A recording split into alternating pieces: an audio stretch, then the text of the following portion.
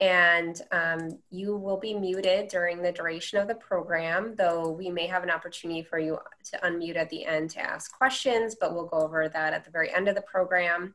I just want to alert you to a few things in Zoom.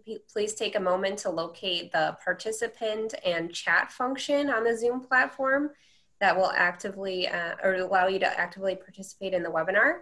And if you have any questions, uh, please save them more towards the end of the program since we're going to be going pretty quickly through multiple presentations. But you can send your questions in the chat box and then um, we'll get to questions at the end of the at the at the end of these presentations though there may be a few moments in between presentations for a question or two if you're having any technical difficulties you can email me at stephanie.bilke at audubon.org or you can send a private chat to me in the chat box um, my email address for those of you on the phone is s-t-e-p-h-a-n-i-e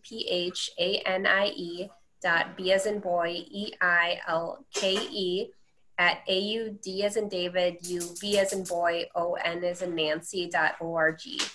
Um, and to get us started with today's program, I'm going to hand it over to Sarah Kendrick. Hello, everyone, and thanks so much for participating in our telemetry sections uh, session of the Midwest Migration Network virtual conference. Um, thanks for taking the time. I'm again Sarah Kendrick. I'm the state ornithologist for the Missouri Department of Conservation, and I'm the initiative lead for the telemetry group for the MMN. So today we have a great lineup of speakers to give you a really broad view of Motus in the Midwest, followed by a lightning round of folks chiming in with what they're working on and where using Motus. And then we'll have a question and discussion portion. So this is all very high level. We really view this as kind of a kicking off point for collaborations in the Midwest. So we won't have a thick, rich discussion, but it'll be a good starting point for us. So thank you again to all of our speakers who are here and welcome to all the participants.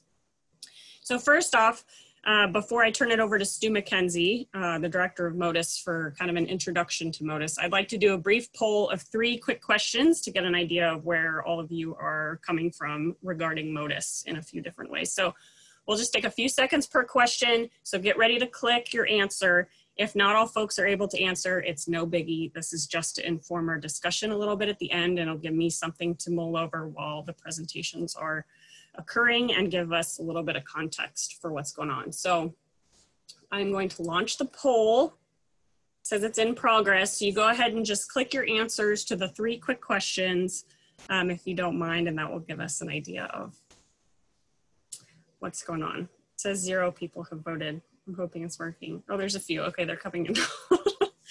the joys of Zoom. Okay. So we have quite a few people.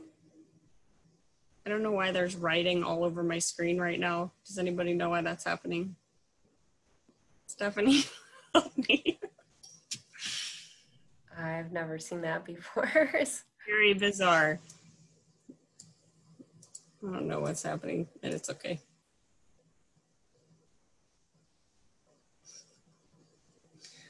It says it might be a Zoom bomb. I don't know what that is.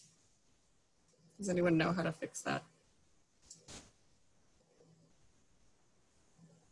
Okay, so it says attendees are now viewing the poll results. So we have about 64% in the Midwest, others outside the Midwest or in Canada. Welcome to everyone. This is not just a Midwest thing. That's how it began, but clearly we need um, collaborations across the hemisphere really.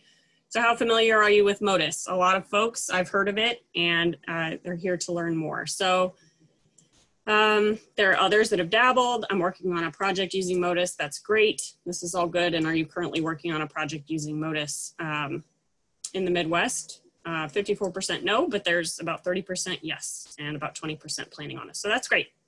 I'm going to stop sharing those results. Um, so hopefully we're back on the PowerPoint where it won't be ruined. I don't know how that happened, um, but that's okay. So I'm gonna turn this over to Stu Mackenzie. I will be running his PowerPoint separately um, and he will just let me know um, when he, we're ready to advance. So Stu, I will turn it over to you. Hold on. I have a mini intro here. I just need to get to it. So Stu is the Director of Migration Ecology at Bird Studies Canada. He manages the Motus wildlife tracking system, no small job. um, Long Point and Thunder Cape bird observatories, and aspects of the Canadian Migration Monitoring Network. Uh, Stu has been using Motus since before Motus was a thing. So welcome, Stu, and go ahead. Uh, great, thank you very much. Sarah, you can hear me okay? Yes. Beauty. Okay, hopefully we're scribbleless uh, moving forward, um, but we'll but we'll see. Uh, so Sarah, you can go ahead uh, whenever. Okay. So I'm having some bandwidth issues, so I'm going to be black uh, to everybody, and um, uh, we're Sarah's progressing the presentation for me, um, and hopefully uh, the slide order may be the same, but we'll see how it goes. So thank you very much, everybody. it's a pleasure to be here, and I'm enthused at the turnout. Um, I don't know how many people are here, but we had over 200 people registered, um, which is really a testament to, to how well we're doing um, building this collaborative network and how much interest there is in the Midwest and elsewhere. So um, intuitively, Sarah, you can feel free to try and guess when I want to go ahead, or I'll uh, just say next. Um, so we've covered at length as to why to track animals, um, particularly migratory animals, um, the main point being that they're different stages of their life cycle are inextricably linked. So if we're going to conserve them, we need to conserve the whole package. So I'll save my time for a little bit elsewhere and you can go ahead. Now the holy, go ahead there, Sarah. The holy grail for ecologists tracking animals um, is to essentially know everything about all animals um, at all times. And we have many different tools uh, to discover that, um, as some of the other presentations alluded to, GPS and bird banding, satellite tracking, um, and then there's uh, radio telemetry, or in the case of Motus, automated radio telemetry. Sarah?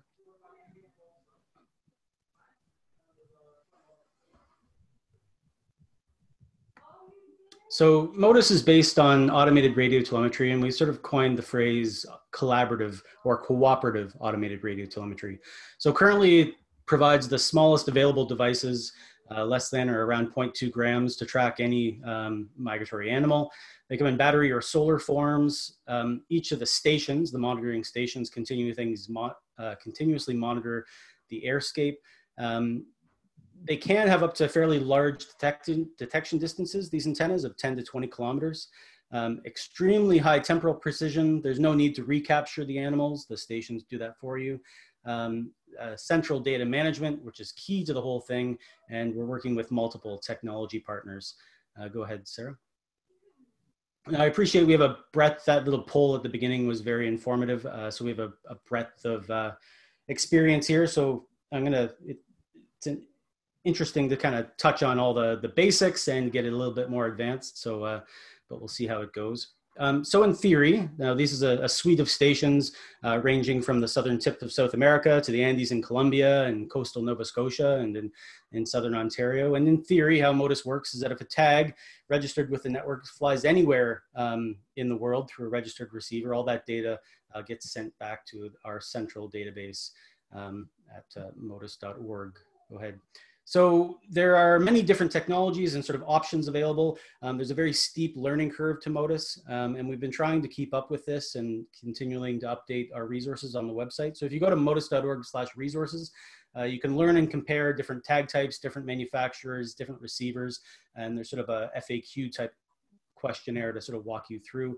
And if you have any questions that you're not uh, familiar with, feel free to reach out to us uh, anytime at motus.org or on the Motus listserv, um, which is sort of a clearinghouse for any Motus related questions.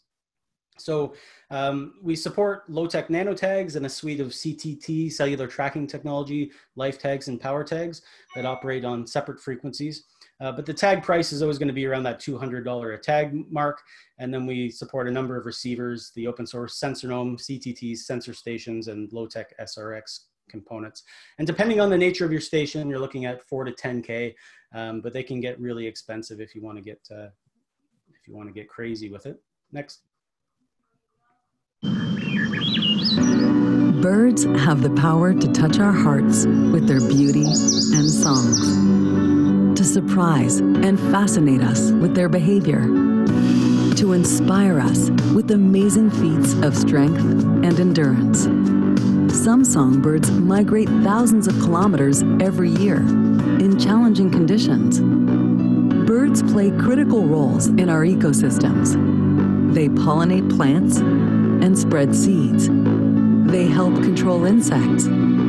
Birds are also valuable indicators of change. Many populations have been seriously declining for decades. One third of North American bird species need urgent conservation action to avoid extinction. We have to act now to protect the habitats and systems that support all life on Earth. But how? Scientists must unlock the mysteries of migratory birds and study their movements on breeding grounds, along migration routes, and in wintering areas. The Motus Wildlife Tracking System uses tiny tracking devices and a network of hundreds of receiving stations strategically located throughout the Western Hemisphere. Motus is yielding spectacular discoveries. Now, researchers can safely track bird movements over vast distances and with incredible detail to pinpoint the greatest threats to vulnerable species. The results help us identify conservation priorities and direct efforts and funds for maximum impact. We have the power to make a big difference with your support.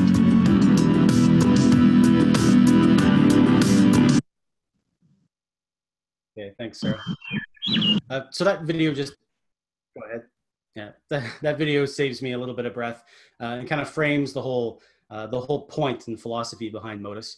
Um, so how Motus works um, is the central database and we have projects and users tagging animals embarking on collaborative research projects. Those animals fly around the world detected by our receiving stations and all that data goes back to the central repository uh, where that data is processed and sent back to the users, is stored in a, our public repository, which is shared online, um, and then also um, making connections uh, to other repositories like MoveBank and the AKN. And it's all for the purpose of, of conservation science, um, whether that means basic discovery and influencing policy and management and public education as well. So that's sort of how it works, but what makes Motus tick, uh, Sarah, you can go to the next. is a, a number of um, I guess different sectors that all sort of have to be working on together, but also working in in tandem. So we obviously have the the projects and collaborators or cooperators um, that are doing their own things in in labs uh, around the world, um, and governments and non-government organizations as well. The animals obviously play a critical role. We have to maintain um, install and maintain infrastructure and keep that infrastructure up to date. Now, infrastructure is the, the stations on the ground, but there's also a, um, a very complex server uh, and data, management backside to the infrastructure. There's a whole education and outreach component that we're just starting to touch on. And then technology is uh, constantly changing, and that's where our, our technology partners, Lotek and cellular tracking technologies, are, are playing a vital role. And then obviously the whole conservation science component um, which, uh, as I said before, the discovery, analysis, visualization, and tool aspects, data archive for future use and reuse, and then obviously the implications, hopefully, toward policy and management, and ideally conservation action. So there's a lot to unpack with Motus, and there's a lot, um, a lot going on. So this is the state of the network, more or less, today. Uh, you can carry on to the next, Sarah. Sorry, there's a bit of a delay. And again. And we've experienced incredible growth uh, over the last um, five years since we've started to having well over a billion uh, sort of call them certified detections in the network.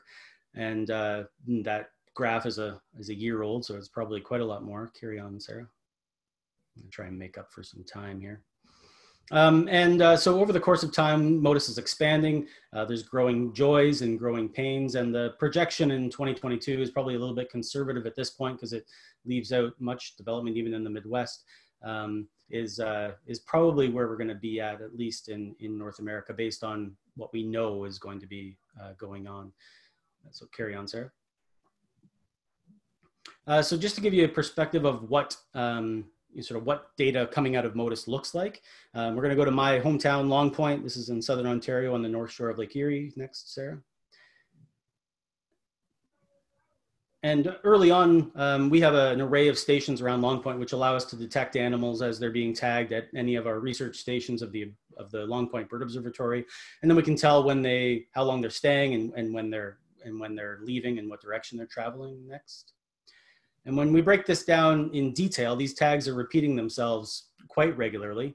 Um, and each of the panels on this plot uh, show signal strength and then are a different uh, direction on an antenna. Um, and I don't have control of my cursor, so I can't explain it as well. Um, but essentially, we have um, periods of activity when birds are feeding and active that we can differentiate from periods of rest when they're sleeping.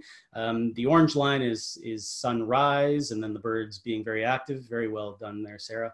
And if we carry on to sunset, and the birds uh, go to sleep, and then you'll see a peak of activity and if the inset on the far right shows that peak of activity zoomed in, and this is actually the bird taking flight leaving station A, crossing station B, um, and arriving at station C, essentially just leaving, um, uh, leaving Long Point and then crossing Lake Erie. And if you go to the next one, I'll show you a bit more careful. And again. Um, so here's another uh, example looking at the data in a slightly different way. So each color in this case is a different antenna direction. And again, you'll see this quiescent period just after sunset when the bird is just resting and then waking up and taking flight and then departing away from the station. Um, and then depending on what antennas the birds are detected on as they're leaving a station, we can infer migratory direction. So in this case, um, the average of those two antennas being about 165 degrees. Um, so that's uh, very local, very specific, small scale information. When we scale up even farther, this is uh, an animation of birds leaving Bruce Peninsula Bird Observatory um, at the top there as they transect through Ontario. And there's a few uh, notable patterns, some of which uh, some of them take a long time to get through the province, which is stopovers. Others are very quick, uh, which is probably overnight flights. And you'll notice this pattern, I can't really show it, but um, you'll see the sort of ring of green, which is the Niagara escarpment. And just in this small scale with relatively small sample sizes, we can start to see propensities for birds following landscapes. And in that case, it's called the Niagara escarpment, which is a green feature in the, in the landscape, which a lot of these birds uh, are honing into and following. Next. And we can scale up again one step further, and these are Swainson's thrush in orange leaving Colombia. Uh, gray cheek thrushes will be gray leaving Colombia. And it was part of a, a number of collaborative studies focusing on uh, overwintering use uh, and stopover ecology of the thrushes in Colombia. And then, but as we uh, surmise that when they leave Colombia, there's a pretty good chance they're going to be detected in North America. And it turns out we detected more than more than 40% of the birds tagged in Colombia were detected elsewhere in the array. And if we let that play again, Sarah, um, if it'll allow, you'll see some slow folks and you'll also see what I call this really, really fast ones. And those are birds that embarked, particularly watch the gray cheek thrushes. Uh, the Swainson's thrushes sort of take the lazy route, but the gray cheek thrushes cross the Caribbean Sea and the Gulf of Mexico. And look carefully at, there's a fast one. There's a couple more, there's another one. Um, so these are birds that are embarked on, on nonstop flights. And based on the energy consumption and fat stores that they occur in Colombia, um, it was you know, estimated that they could probably embark on, on large long stop flights taking into the continental United States. Um, but in this case, we were able to actually confirm that they're embarking on nonstop flights all the way. Um, and uh, you can skip to the next flight, uh, sorry, the next slide. And there's a really pretty little story that goes along with this. These are each four different birds being detected as they reach the coast on uh, in Grand Isle, Louisiana. And this upside down, this parabola is sort of the typical pattern of a bird crossing an antenna. The signal strength peaks as they cross the antenna and then declines as they as they fall away. So each four of these great cheek thrushes all left Colombia on May 17th.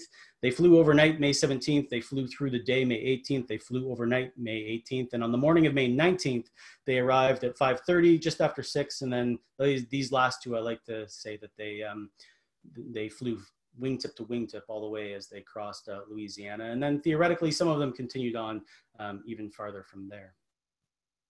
Next. This led to a, a number of publications, particularly one um, by Camila Gomez and, and others, uh, showing that the, the, the pace, um, both the pace and how far um, birds from Colombia will migrate in North America is dependent on how many fuel, how much fuel they accrue while they're in the, in the Santa Marta Mountains of Colombia. Um, so from a bang conservation bang for the buck scenario, the you know, that area of Colombia for great cheek thrushes, probably a number of other species as well.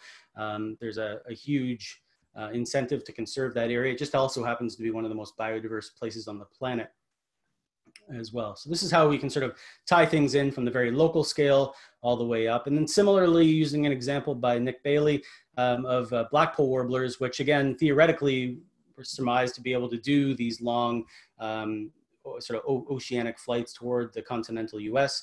Um, and we used Motus data to sort of confirm that, uh, yes, they were heading there and that the theory, uh, the theoretical limitations for blackpolls at least uh, are true. Next, you'll probably have to click twice. You can carry on. Yeah.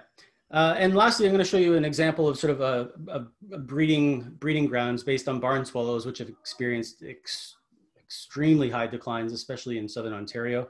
And these are two examples of uh, post-breeding dispersal and uh, for the survival analysis of barn swallows. So these are barn swallows that were tagged near Guelph, which is sort of the upper right corner of the map. Um, and then basically they're, they're uh, post-breeding dispersal as they go throughout the province. Um, and then these data, you can go to the next one, Sarah. I'm not sure what's going to be next.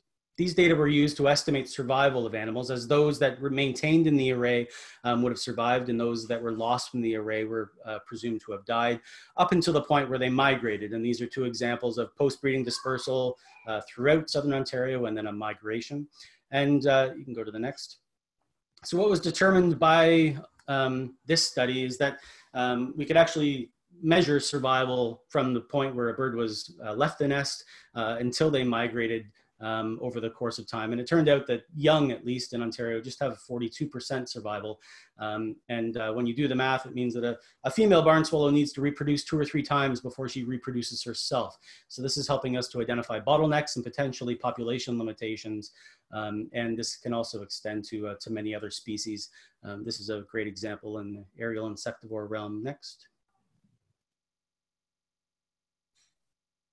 And I'd be remiss if we didn't mention bats, um, particularly migratory tree bats, but there's been lots of done on more sedentary myotis um, and, uh, and, other cave dwelling bats. This is a beautiful red bat um, sporting a Motus tag. Next. And uh, particularly when one of the other MMN uh, objectives is the Wind and Wildlife Coalition. And um, we think we don't know a lot about birds. We are very spoiled in the bird world. We know a lot and we can start to ask really interesting questions. But in the bat world, um, we know very little, particularly about migration. Uh, so this is just one example of how by tracking migratory bats, we can learn more about how they navigate the Great Lakes um, or lake shores and features in general. And uh, for this example, we sort of put to rest the question of whether or not bats cross the Great Lakes. Um, in this case, uh, silver-haired bats of uh, all age and sex categories actively crossed the lake around Long Point. Many went around the lake as well, but I didn't show that data here. And lastly, insects. There's your cue. Next. Next. And we can do the same with large insects, although we'll probably start narrowing it down, such as darners and monarchs. Um, and these are some pilot examples um, by Knight et al. Um, showing uh, migratory flights again from the Bruce Peninsula through Ontario. Uh, some of these dragonflies doing 600 kilometers in the in the matter of a, of a, of a week or so, and same with the monarchs. Next.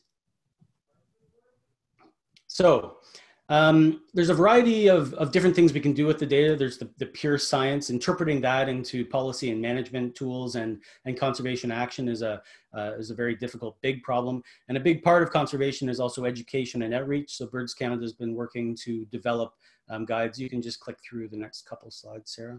Um, so this educator guide's on the website uh, for sort of more the hands-on availability. Um, and each school that's registered on the education site, sorry, you can go back, um, we're providing sort of more up-to-date summaries um, and, uh, and case studies for students to learn, uh, or you can do at home with, uh, with COVID and all the homeschooling, you could lose yourself and your kids in the education website for, uh, for quite a little while on stations near you. Uh, and these will be developing into new platforms that we're working on.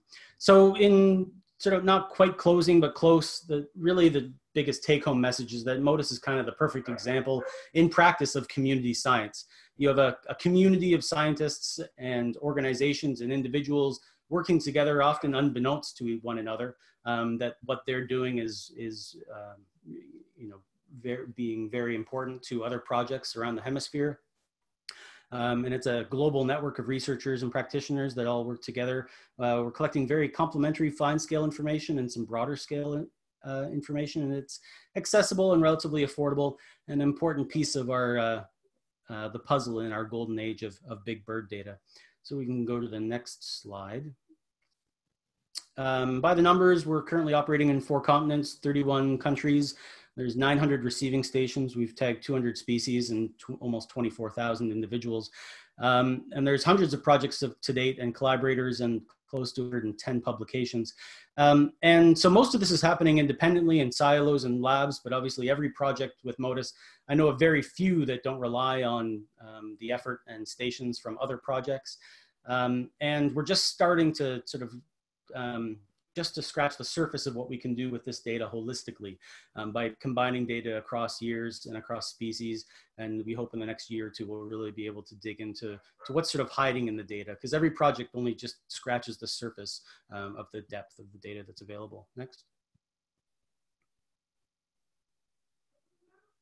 Okay, huge thank you to everybody. I can't thank all of the collaborators. And if you just go to the next slide, Sarah, and sort of closing, I'm not sure how these are going to be organized. So, what's next in the Midwest? Um, I we didn't have a lot of time, as Sarah mentioned. This is a very sort of a an intro to get everybody sort of up to speed, um, learning more about Motus um, and starting to grow together. But uh, behind the scenes, we're starting to embark on a strategic planning process to try and organize things um, and make a more sustainable path with the the greatest output for for migratory animals moving forward. Um, and that's a that's a big um, that's a big task and there are a number of different uh, sort of regional coordination bodies and groups like this in the Midwest. There's the Northeast Motus Collaboration, and there's also um, the Western Working Group and, and others taking shape across, uh, across the Western Hemisphere at least. And um, so this is sort of stage one in the Midwest is getting everybody together and learning um, who's doing what where. Uh, and then we'll be following up um, as a follow-up to this will be sort of more targeted questions with targeted groups about how we move forward. Um, and, uh, and there's a great sort of network developing. You can just, Sarah, I don't want to, I've probably gone over time already. Um, so I don't want to take any more of your time. And um, so I can just stop it there um, and we can get into more of the, um, the overarching big questions maybe in our follow-up presentations or we'll see where the questions lead. Um, but uh, I know I've yammered on. Uh, have you heard enough?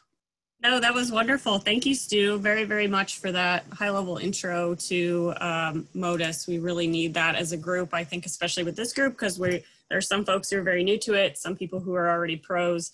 Um, and so thank you very much for your, uh, sharing your knowledge. And Stu will be sticking around. So if we have some questions towards the end, which I know we will, we're getting a little short on time, which is okay. Um, yeah, I'll be quick. There's only one more slide that was left off that is sort of critical importance of the whole thing, and I hope it came across, is that we have the opportunity with Motus to study sort of aspects of the entire life cycle using one uh, device at, mm-hmm. numerous different scales um, and combining it with different technologies. So it's not the be all and end all, it's just part of the pie. And I look forward to hearing um, uh, about what else uh, these excellent researchers have to show. So thanks again, everybody. Thank you, Sarah. Yeah, thank you, Stu. I really appreciate it. Okay, so I'm up next. I'm just going to talk about Motus in Missouri and the Midwest. Um, I'm going to zoom through some of these. Um, Stephanie, can you verbally tell me if you can see the slides okay? Because I can't anymore. Okay. All right. So I, I gave an intro yesterday on the telemetry initiative. I'm going to go past some of these slides in the beginning since we're a little bit behind on time. Um, but yes, our telemetry initiative is to expand Motus across the region and beyond um, to kind of build up these partnerships. So I made a point here to say, as as Stu mentioned, this Motus is a definite learning curve. Um, but seriously, if I can dabble in it and put up receivers, then anyone can. I do not have a background in communications or radio telemetry or anything like that. But um, and this is not my full time job; it's only part of it. Um, so it is a learning curve. But if I can do it, um, you can do it too. So just want to give that a boost at the beginning. But you I showed this yesterday in the intro, but this is two years ago. There were all of these receivers missing in the Midwest, and we really were working with a black hole in the Midwest of Motus receiver coverage. And just in the last two years, you see all of these receivers that have gone up. Um, it's just very heartening and and it's it's all happening kind of all at once. So this is our Midwest Migration Network strategic Motus receiver plan. It is um, very optimistic, but I think we can get there or some um, some representation of this. You can see that a lot of these receiver lines are in these digital fence arrays where the detections kind of overlap so that you're creating a, that digital fence of receiver coverage. They're along latitudinal lines for north-south migration um, or along major waterways, uh, rivers, and the Great Lakes. So uh, the Midwest Migration Network Telemetry Group does have a list of focal species for your perusal. Um, you can contact me for that. I believe they're on our website, um, but if they're not, just reach out to me and I'm happy to share that with you. So tier one, um, the, the, the MMN steering committee developed this four tier system for ranking the importance of potential focal species. This occurred before my um, coming on with the MMN, but if you have questions about that, I'm sure Amber Roth would be happy to answer those questions of how they were assigned. But these are the criteria of how these species were assigned to tier one, tier two, tier three, and four. And so a lot of it um, adhered to Partners in Flight's Avian Conservation Assessment Database, the ACAD. Um, those designations, or they have to have over or equal to, and have to have over or equal to 5% of the breeding population in the Midwest things like that. So they were set criteria. Um, but these are just a real quick view at the tier one and tier two species. I won't go through all of those, but just for your knowledge, and I'm happy to share that with you. Also, as Amber mentioned yesterday in the introduction to the MMN, we have research questions that we want to focus on as well. I won't go through all of these in the interest of time since Amber did yesterday, but again, these are for your perusal. If you all are thinking of Motus or tracking research in the future in the region, maybe consider how we can answer some of these questions. But these are available from the MMN to gain support or lend support to grant proposals and other things like that, partnerships, um, to show a little bit more focus to those research efforts. So Missouri, so we want to do what folks have done in the Northeast. Um, and in Pennsylvania, they have an overlapping digital fence across the state. So that's what we want to do in Missouri. Yes, I drew this outline of the state. It is beautiful. I know everybody is applauding. I just can't hear you. Um, but there are two uh, digital fence lines, not to be outdone by Pennsylvania. We want to put two up, but there's one in the north and one in the south. The one in the south is in our uh, Ozark forests, a lot of contiguous um, oak hickory and pine forests down there. And then we have our glaciated plains up north. So more grassland birds up north and in the west, and those forest birds down in the south, where a lot of neotropical migrants depend on that for stopover habitat as well as breeding. So there is a method to the madness. Um, not to, um, I would be remiss without mentioning that we need more receivers on stopover sites in Central America and South America and on the wintering grounds. And so every single time we try and put in uh, for a grant proposal or get funds um, or raise funds through our Conservation Heritage Foundation, we always try and think of partners we can work with to place more receivers uh, down south as well. We can't forget that because that's, we need them down there just as much as up here. So this was a, um, a Region 3 Migratory Birds U.S. Fish and Wildlife Service grant that we got a few years ago to place 12 receivers. And so we reached out to Illinois um, to show a, a broader um, range. And we there are six in Missouri, the St. Louis Zoo, Illinois Natural History Survey, and American Bird Conservancy were our partners on this. We're placing six in Missouri, four in Illinois, and two in Guatemala. You see the dots down at the bottom. Um, and here well, we can just skip that. And then we just submitted a massive CSWIG, which is a competitive state wildlife grant um, proposal through the Fish and Wildlife Service um, with um, five other state agencies and I think five other nonprofit partners um, to fund motor rece Motus receiver placements. So we would purchase the Motus supplies and tags and then send those out to the partners to get those in their hands and then their buy-in to the project is to place those. So this proposal has 59 new Motus stations. Um, there'll be dual listening stations for nano tags and CTT. Again, this is just a proposal. We haven't heard yet, but it would place 48 of those receivers in eight states in the Midwest, Missouri, Iowa, Illinois, Indiana, Ohio, Michigan, Minnesota, and Wisconsin, and then 11 out of country on the Yucatan, uh, Costa Rica, and Colombia. It would also, this proposal, support three research projects, Golden Wing Warbler work in Wisconsin with Amber at the University of Maine. That's supposed to say Golden Wing Warbler, not Blue Wing Warbler. And wood thrush tagging on spring migration. That's working with partners Selva and Missouri Department of Conservation to place 50 tags, 25 on each of those species during spring migration. And then tracking by Minnesota DNR of American kestrels, uh, both juvenile and adult movements. So that's very exciting. It was a big proposal, has all of these partners in it. So this will be me until October. Um, we've also here in Missouri raised $20,000 for Motus receiver placement just in Missouri through our Missouri Conservation Heritage Foundation, which is amazing. And those range from a $50 donation from someone who saw a presentation on it and donated 50 bucks for their friend's birthday to an Audubon chapter here in Missouri that donated like $9,000 for a receiver. So lots of little donations, but it adds up and that's really cool to see. Yeah, people get really excited about it. It's one of the few topics that you can present to to an Audubon chapter or a master naturalist group and that people can donate to, um, lay people can donate to research. People get very excited about that. Motus is just awesome. It's easy to get excited about. So I thought I would um, outline here a few tips that I've kind of learned along the way if you're just starting to dip your toe in it. And there are way more than this, but these are the ones that just kind of rose to the top. Um, if you are thinking of uh, deploying Motus tags on species, uh, put up and release them at a station so that we get guaranteed points um, from those birds. Um, when you have ideas for tagging efforts using Motus, um, reach out to other regional partners. So potentially you could spread the tags out over that region um, to get those large scale movements from multiple locations. When we saw Antonio's presentation from the bird banding lab yesterday, um, this is one of his slides from his presentations. And really, this is just kind of a note to say work to integrate localized monitoring um, of, of your individuals moving around with Motus tags before they make those long distance movements. I have heard um, from folks at the bird banding lab that that helps you get permitted um, if you have a little bit of localized monitoring before those birds will move on. Again, if you're releasing them at a station, um, hopefully that does occur for a while if you're if you're tagging them uh, on stopover sites. And then this is a um, slide from Mark Shieldcastle's presentation from his banding and ground survey session yesterday. Um, and again, just reach out to others and try try for research collaborations.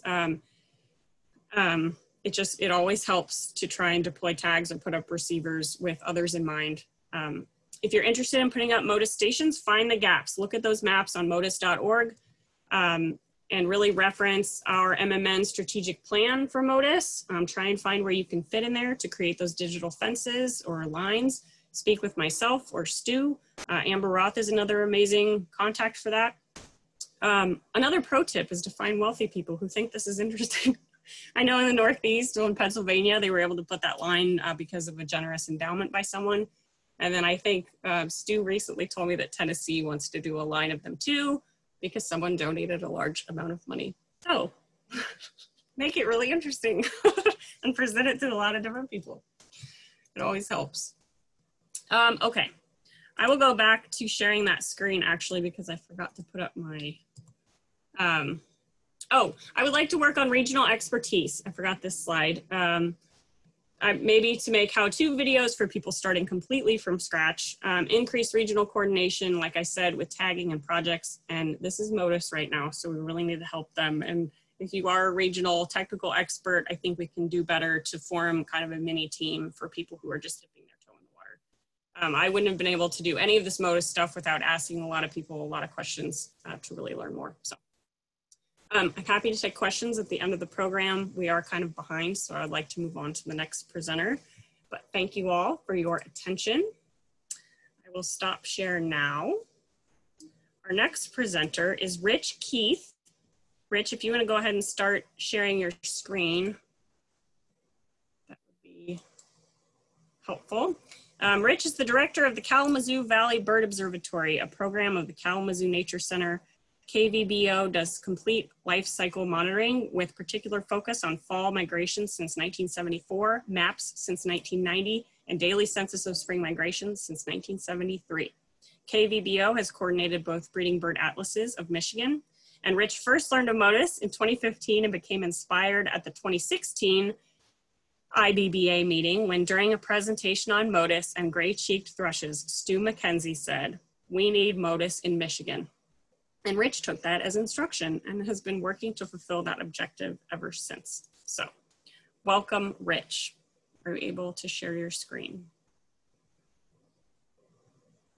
You're muted. Brenda. There you go. Thank you. Can you hear me now? Yes. Thank you. Um, I want to find that rich person you were talking about. That would make life so much easier. Me too. Yes. Um,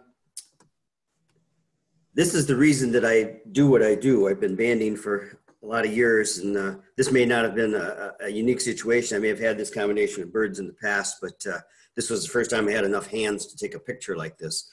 And uh, that's kind of what I live for. What's coming up in a couple of weeks here in this part of the country is this fall migration of the warblers. But Rick, you can't see your screen yet. Ah.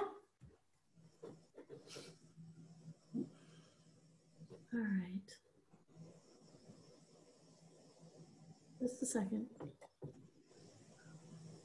Bear with us, folks. It just wouldn't be a Zoom meeting without something along these lines. I did it too. sure. We've all been there.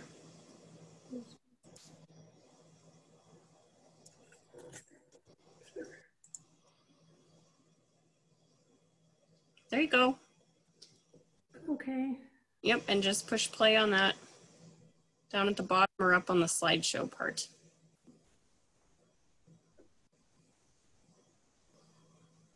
Perfect. Thank you. Okay. Now, okay. All right. Sorry. I really have to show this photo again. Like I say, I may have had this species in combination before, but never enough hands to take this picture. And it's what I live for. But Motus in Michigan. Um, it took me uh, till 2018 to get my first uh, three towers up, which are in Kalamazoo County over on the left hand uh, of the screen at the Nature Center, Fort Custer, and uh, Pittsfield. Um, from uh, South Carolina, we had uh, they banded 19 ruddy turnstones. We had three fly over us, which were unexpected for them to take this path. We've had a red knot also from South Carolina, and which has been like 50 years since one of those has been recorded in the county. And we've recorded two Kirtland's warblers, and they have never been recorded in the county. So all this just just continues to build my enthusiasm.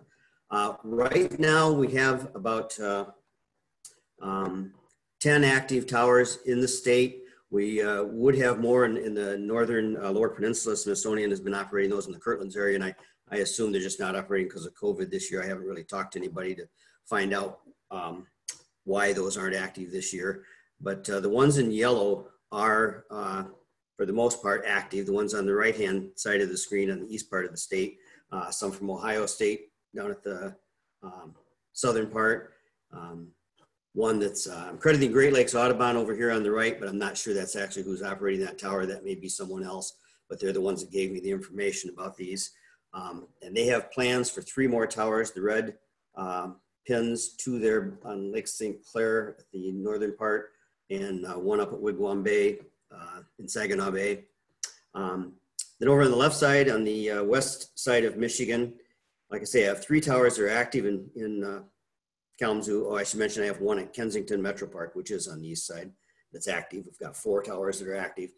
These five towers on the east side of the state, Grand Rapids, uh, three down in, well, two in Berrien County, one in Cass County, and one up in uh, Van Buren County, I think it is. Those are funded. I've got my CTT motherboards a week ago. We have masks, we have locations, we have permissions, we have everything, and it's COVID. so those will go up. I thought they'd be up this spring in 20, but maybe in 21, by 21 in the spring, I, I certainly hope we can have them up, but everything is literally just sitting here waiting to go up on those.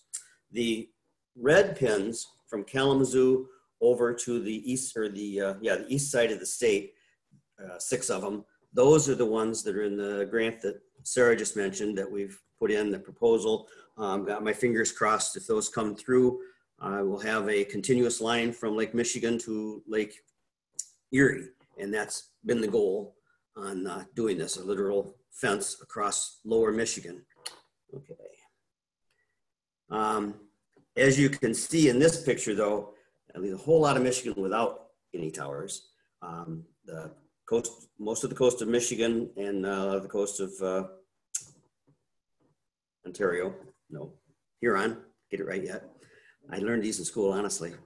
Um, one thing I want to mention is that uh, I've been working with the uh, National Guard.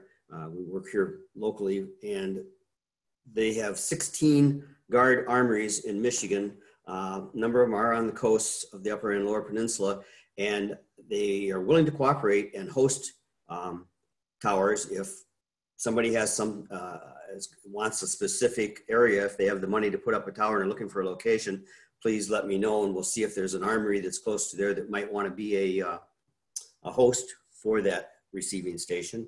And I'm going to go to my Upper Peninsula, and Upper Peninsula has been very sparse, obviously. Uh, just in the last year, we've gotten two over in the Keweenaw Peninsula that are uh, up and running. Uh, at Whitefish Point over here on, uh, on the bay, we've had that one up for, I think, three years now that that's been up, but that's been pretty much it for the Upper Peninsula. But the other three red dots, three, three red pins in the Upper Peninsula, Gladstone, Marquette, and Sault Ste. Marie, um, I just received $13,900 from the National Guard, and that's going to pay for the equipment to put stations at those three locations. Now, I haven't ground truthed the three locations. I'm assuming they might have a mast and they might have electricity and all these things. I've got to actually go to those armories and physically inspect them to make sure that's going to work, but they're funded.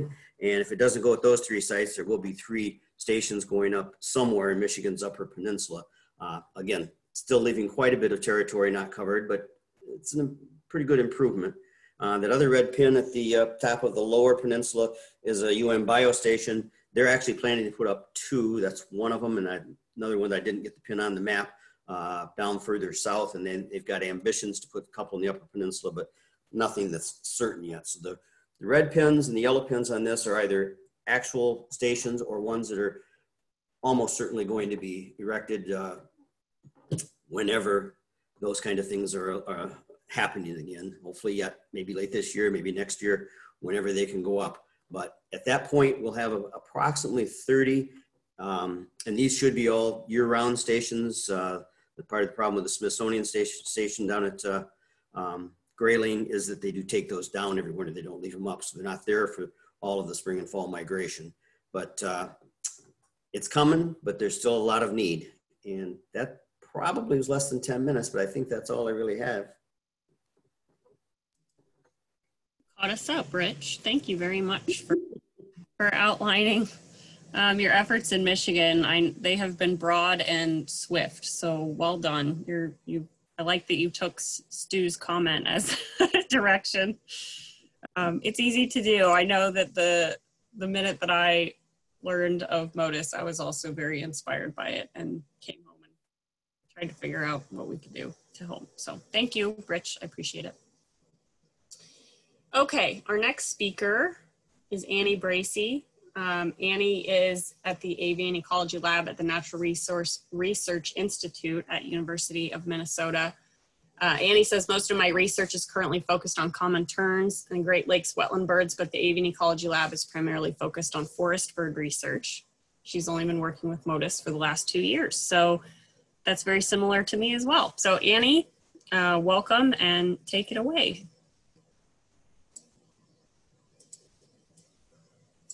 I think she's back. There she is. We can't hear you. I think you're muted still. Is that, can you hear me now? Yep. Mm -hmm. yeah. Okay, let me get my. Okay, awesome. Well, thank you, Sarah. Um, as Sarah said, I work um, at the Natural Resources Research Institute in Dr. Alexis Grinde's lab. And we have been tracking common terns, um, nesting in the Duluth Superior Harbor and in Ashland, Wisconsin. Um, in recent years, we used uh, geolocators to track adults um, to identify large scale migration routes and overwintering sites.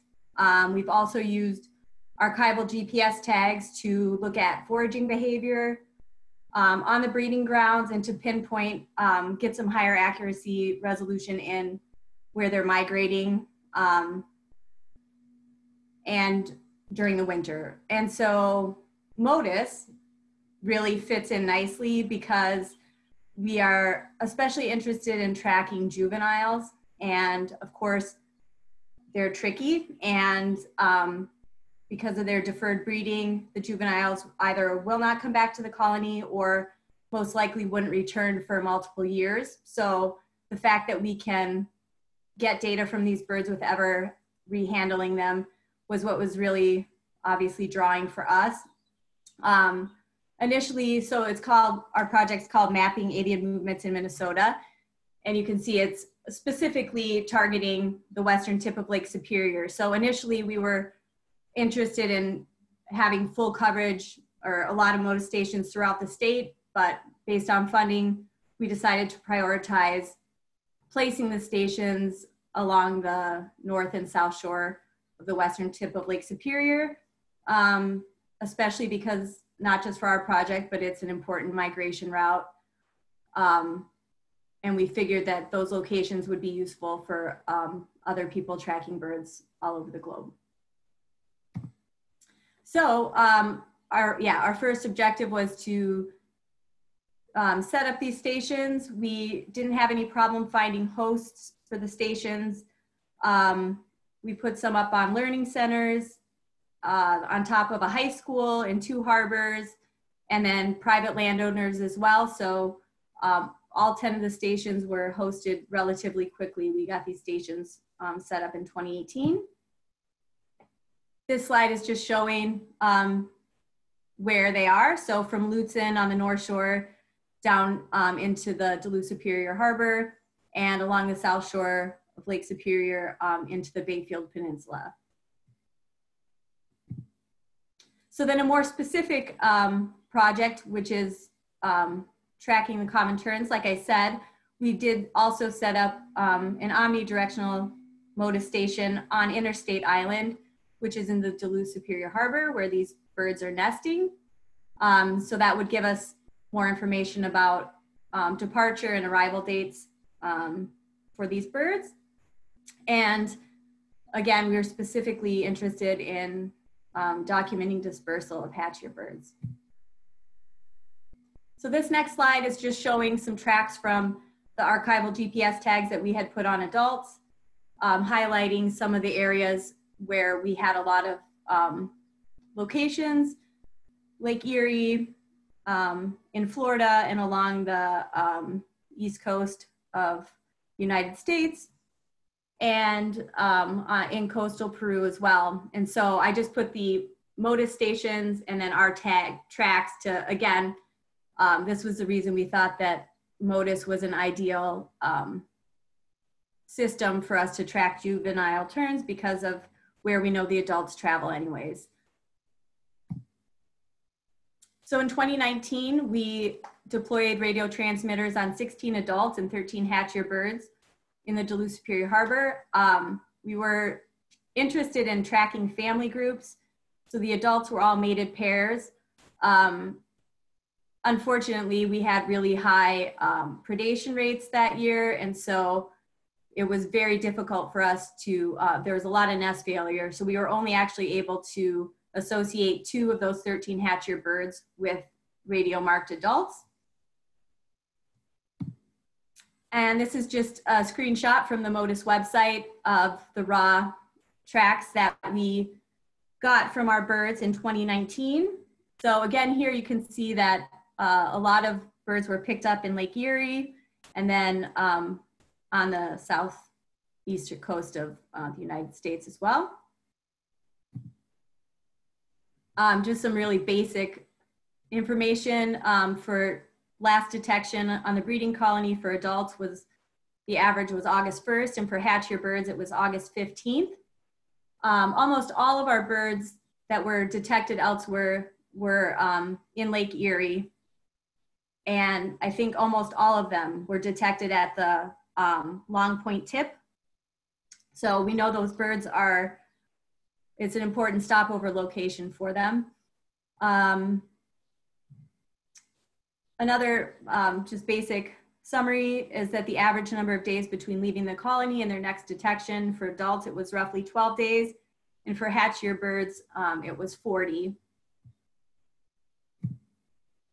And then the one family group that we actually got uh, return hits on, we can see that the um, male and female adults and the one hatchier female um, all left, seemingly left the colony August 14th and 15th. The female and the juvenile were uh, picked up at stations in Lake Erie for 21 days for the female and 38 for the hatch year. And then the male was picked up in Florida, oops, pardon me, in Georgia, the female in Florida, and then um, the hatch year bird was last detected in Lake Erie. And so you can see some of those dates of departure. And so we were hoping to get more information about postnatal care and um, just how the family groups worked. Of course, having a sample size of one wasn't super helpful. Um, so we decided that in 2020 we would um, prioritize putting the tags out on juvenile since those are the um, birds we were primarily interested in um, and the least is known about their movements. Um, so this year, um, we observed nine of the 16 adults that we fitted with radio tags in 2019 um, and captured seven of those birds to remove the tags. And then we deployed 30 radio transmitters on Hatch hatcher birds um, and just finished doing that last week. Uh, so we will look forward to spending the winter um, updating our sites. If I can try not to do it daily, that will be amazing.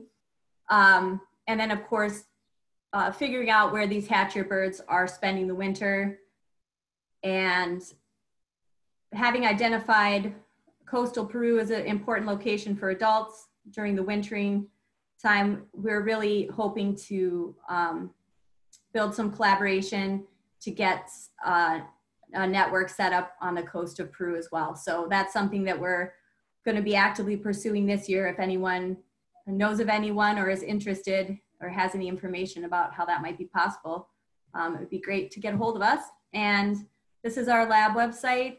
Again, um, you can go there to get more information about the projects we're working on. I focused on common terns, but there are other um, Motus projects going on in our lab as well. That's all I have. Thank you, Annie.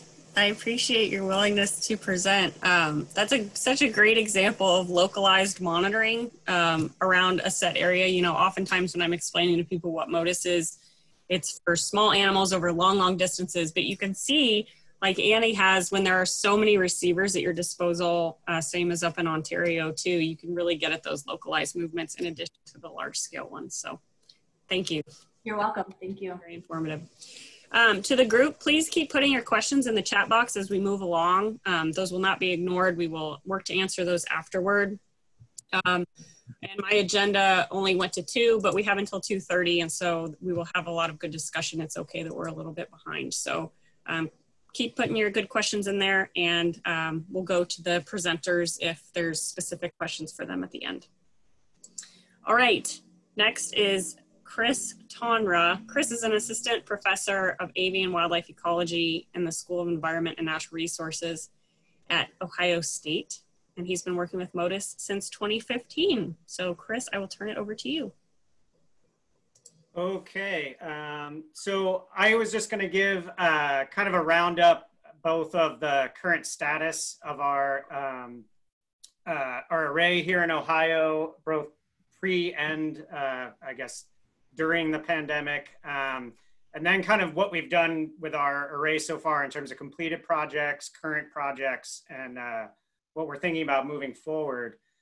Um, so this is what our array looked like uh, before the pandemic hit. Um, basically, we have uh, down south in Ohio, we have two stations in the Vinton Furnace Experimental Forest.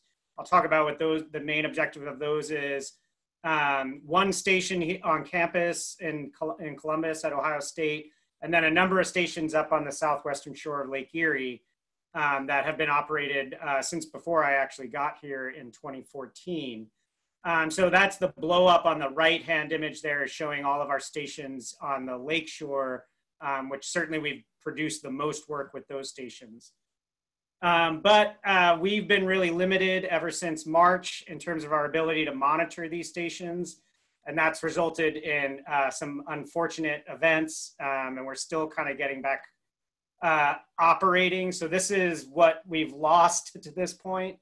Uh, we had one receiver go down up by the lake um, because it was invaded by ants. Um, it was unable to be repaired. I should say all of our stations are Lotek receivers a number of different models. Currently, we're using all the SRX 800s. um, but some of them are some of the older models. Um, then we had three towers go down due to the high winds, um, which we haven't had an issue with in previous years, but some of those tropical storm remnants um, really took a toll. Um, so we're currently down four towers up on the lake. Um, Winous Point Marsh Conservancy is really uh, helping us out a ton right now. They've written in some time to one of their seasonal staff to um, help monitor all these. So Nicole Hangst and, and um, Brendan Shirky have been going around and checking on these. Um, so hopefully we'll have a better idea because some of these stations, especially the ones in Michigan, we still haven't gotten to since February.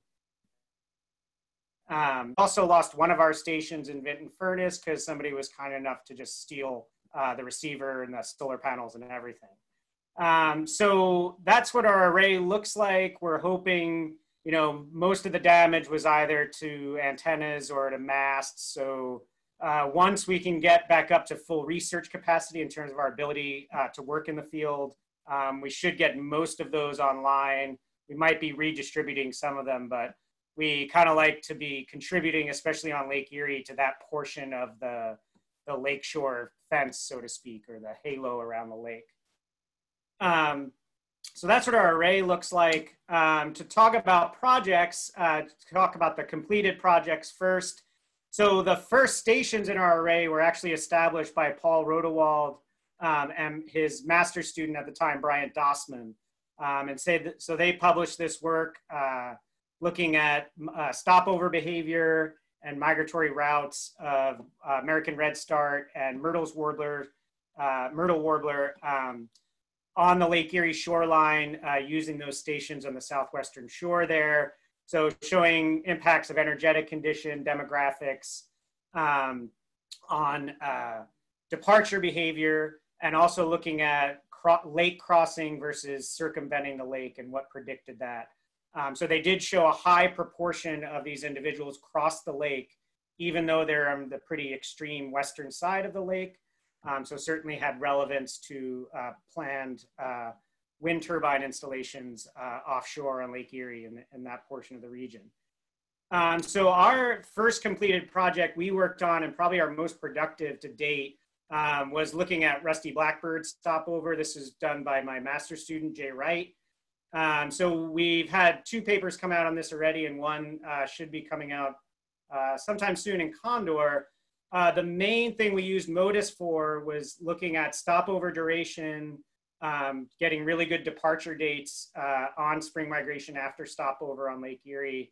You know, this is a rapidly declining species of concern.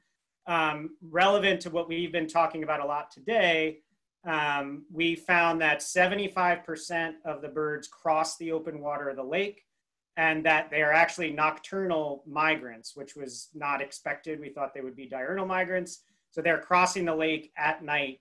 Um, so certainly exposed to mortality risk from any wind turbine installations. Um, we also piggybacked uh, using the tags to get stopover habitat selection at multiple spatial scales uh, documenting roosting locations.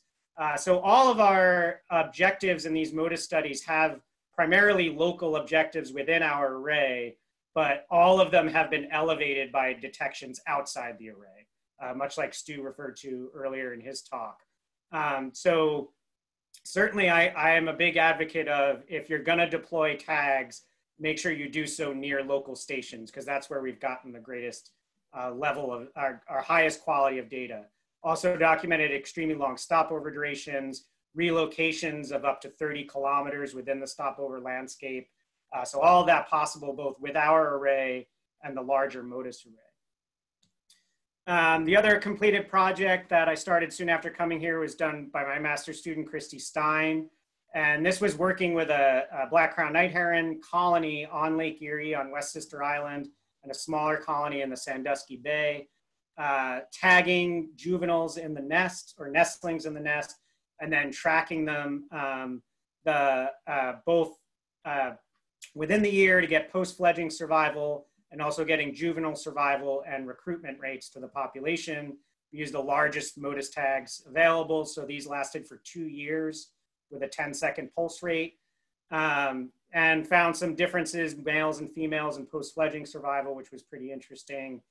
Um, I'll just put it out there if anybody's a demographic modeler interested in uh, collaborating on doing some additional analysis. We would like to do some more in-depth multi-state modeling or spatial mark recapture um, using the larger Motus, larger scale Motus detections that we got for these birds, but primarily used our local array um, to get these survival probabilities.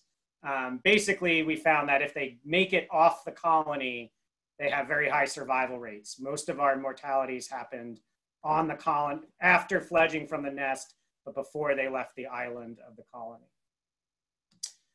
Um, we also have one that's sort of completed, uh, Nicole Hangst and Jim Hansen, uh, who are both master students here. Nicole's defending this summer, um, have been tracking Virginia rails from the Winous Point Marsh Conservancy. Uh, and this really started because initially they were gonna do just VHF transmitters and then found a lot of their VHF transmitter birds were disappearing. And this was actually happening during one of the survey windows for the marsh bird surveys uh, the, the regional marsh bird surveys. So they wanted to know where these birds were going. Were they just dispersing locally or were they actually detecting migrants during those surveys? Um, and it turns out there were quite a few of the birds detected during those windows meant to count and get occupancy for breeding birds. They were actually detecting a lot of migrant birds. Um, and so had a lot of recommendations for optimizing the survey periods based on region because it seemed like the protocols did not capture um, breeding only, the breeding only population at the site. Um, so that's our, our completed projects. This one still, like I said, the, the theses are still being written up and defended, um, but look for some more results for that in the future. So our current projects, uh, one that's very local scale using those two towers in Southern Ohio at the Vinton Furnace Experimental Forest is using Motus tags both to track overwinter survival of blue jays and their seed caching dispersal behavior. Um, a lot of this focused on oaks, but also we've added a component of uh, chestnut given the goals to reintroduce the hybrid uh, the developed hybrids of American chestnut that are blight resistant. Um, so we've actually been putting Motus tags inside chestnuts. Those chestnuts in the middle there are sealed with wood putty because they have a Motus tag inside and getting blue jays to cache those chestnuts and finding them with receivers to get cache locations like the one shown on the right and then doing outplantings in those locations. But using our Motus towers, we're primarily using those two towers to add our detections for survival, um, for overwinter survival for the Blue Jays themselves. Um, and this is Jay Wright, who did the Rusty Blackbird project. He's now a PhD student of mine and Steve Matthews uh, uh, leading this project. And then the last current project we have is uh, a project by an undergraduate uh, honors student of mine, Valerie Gawk, using our station here on campus. Uh, well, not on campus, won't be for a while probably.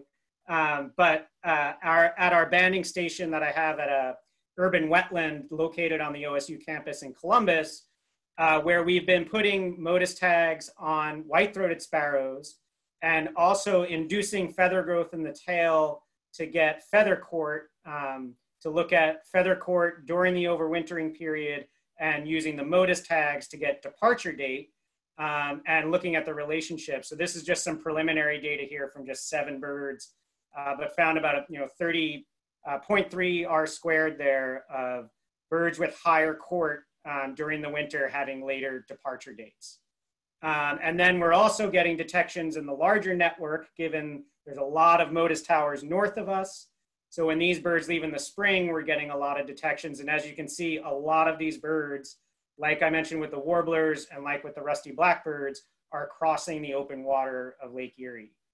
Um, so in terms of future projects, that's kind of where I've been investing my time in putting proposals out is looking at lake crossing behavior. Um, as I know Mark Shieldcastle and folks at Black Swamp, and I'm sure other folks on this um, have been thinking about because, because of our coverage of Lake Erie, we can get really good um, estimates of the, the rate at which birds are crossing the open water of the lake. Um, but also I've been interested in looking at the uh, sort of the the extent to which birds are funneling to certain portions of the lake. Uh, so I would like to do deployments of tags in central Ohio, but across a longitudinal gradient um, to see if birds are just kind of proceeding northward and crossing wherever they hit the lake, or if they're concentrating in certain portions. You can see our white-throated sparrows there, a lot of them crossing by the Lake Erie Islands.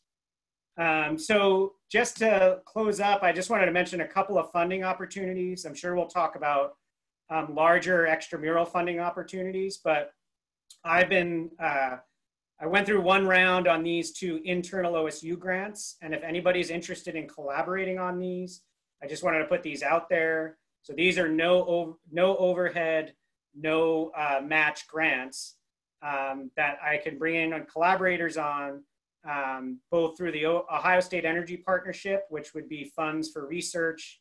They generally max out the grants at 40 to 80,000. Um, they give out 800,000 worth in grants every year, but we would have to prioritize, they want to prioritize energy sources that go to OSU. Um, so OSU does receive wind energy, but obviously not from the Icebreaker project on Lake Erie at this time. Um, so need to think about, uh, I did not get it on this round, but that was the advice I received was emphasizing more this, the sources from uh, that Ohio State is receiving. And the other one is this uh, Center for Human Animal Interaction. Um, they will fund two years of a graduate student, um, but they want to see clear human population impacts, either economics or some sort of social objectives, um, which is not my bailiwick. Um, certainly there's human uh, aspects of, of a project on wind energy and the, the effects on wildlife populations, but they wanted more of a direct human impact, such as you know the economic impacts of increased mortality of migrants or something like that.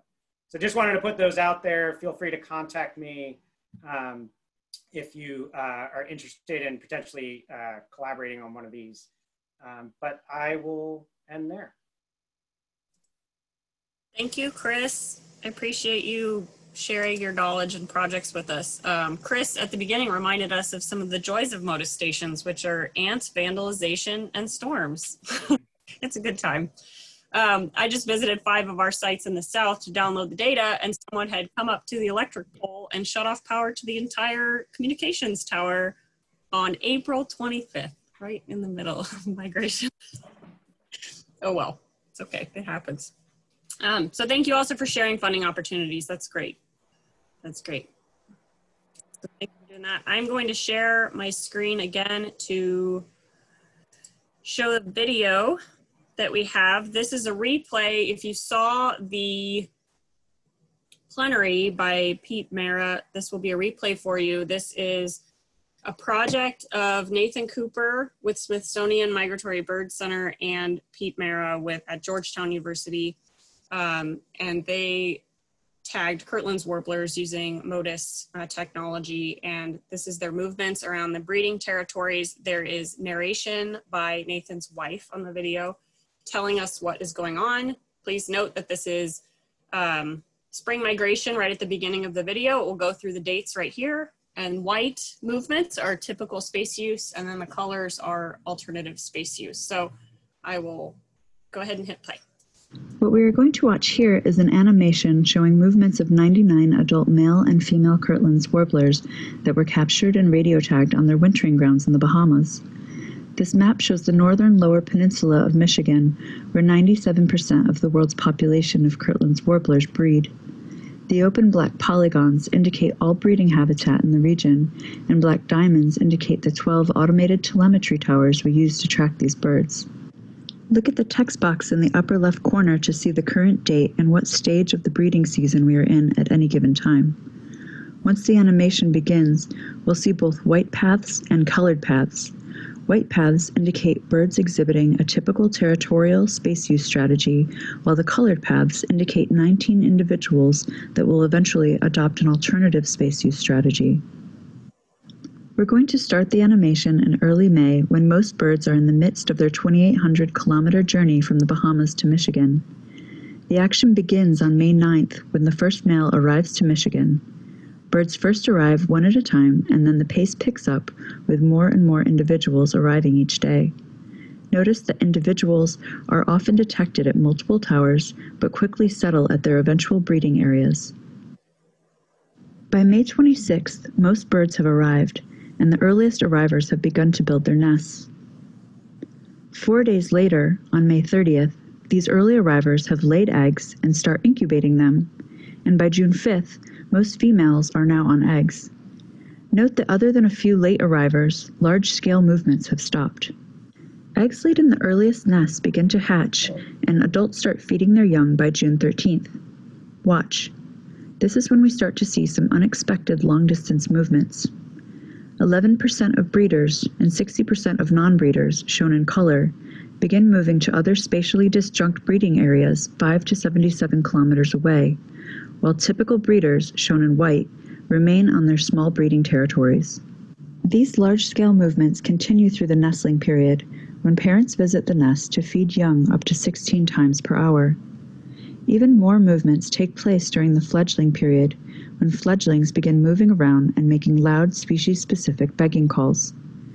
These cues provide publicly available information about reproductive success and habitat quality in the area. The fact that these long distance movements only occur during the nestling and fledgling periods provides some confirmation that individuals are prospecting to help inform their decisions about where to disperse to in the following year. By July 20th, when many fledglings have gained independence from their parents, all long distance movements cease and do not begin again until more than two months later when fall migration begins. Okay. So I liked that. I liked that extended uh, explanation.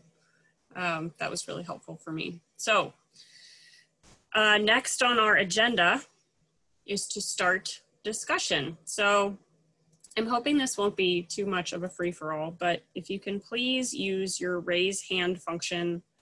Um, Stephanie, can you give them instruction on where to find that, please?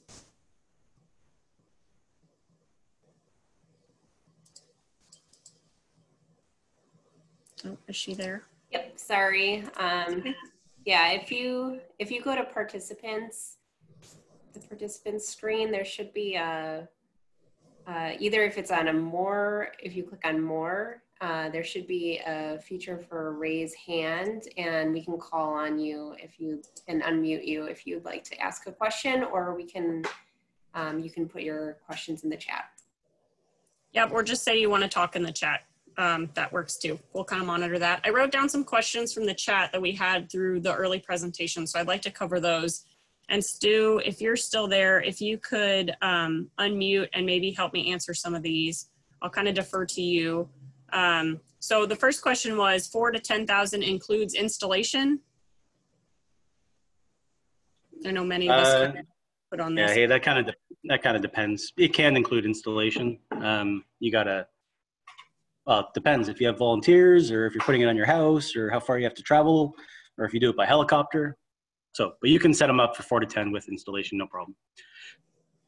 Yeah, here in Missouri, we have placed ours on existing MDC, our, our agency's communications towers. So that's nice. We already have uh, towers at high points in landscape, and it's a tower that we can just attach our antennas uh, and receiver to.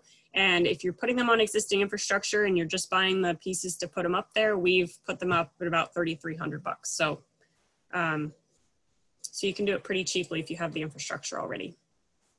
Um, upkeep slash subscription cost per year for a station. I know for a station there aren't any recurring costs, um, but if you deploy tags, Stu, is it still fifteen hundred a year?